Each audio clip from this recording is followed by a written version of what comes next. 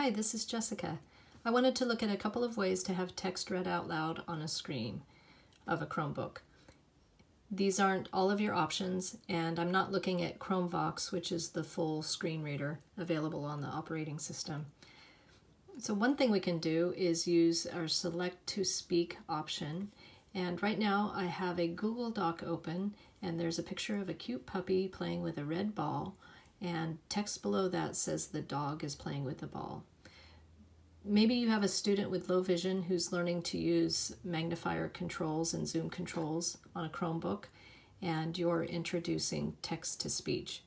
So one way that text to speech can be helpful is after writing something, a student could listen back and have another way to check and edit their writing. So to turn on select to speak, I have an icon in the bottom right. I'm not familiar if there's a keyboard command to toggle this on and off right now. But I'll zoom in here. It's in my um, tray down, or the shelf down here.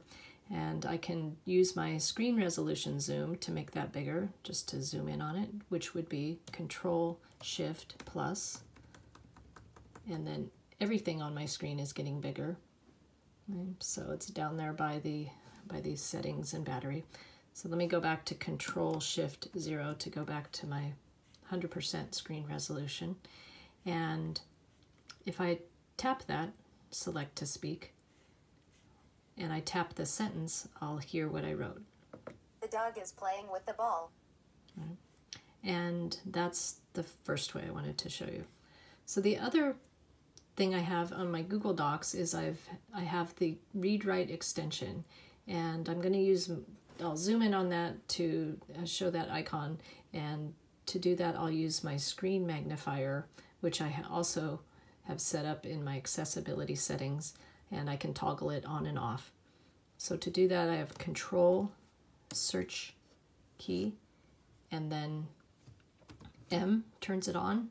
And my screen just got bigger because that's where I left it. And um, or the zoom all of a sudden I'm zoomed in on a portion of my screen and I can change that zoom level with control alt um, screen brightness down or screen brightness up. I can also use fingers on my trackpad to do that. So that's the read write icon and read write is an extension that has a lot of features. So let me turn my screen magnifier off, control search M. So with the read write extension I have a toolbar up here and if I put my cursor in the sentence I just wrote, there is a play button, a little triangle pointing to the right. So I can bring my point mouse pointer up there and click that. The dog is playing with the ball. Okay, that uses a different um, speech engine. So um, I'm also not familiar if there's a keyboard command to play text within read write. So anyway, that's two ways we can listen to text to start to introduce students to text to speech. Thanks.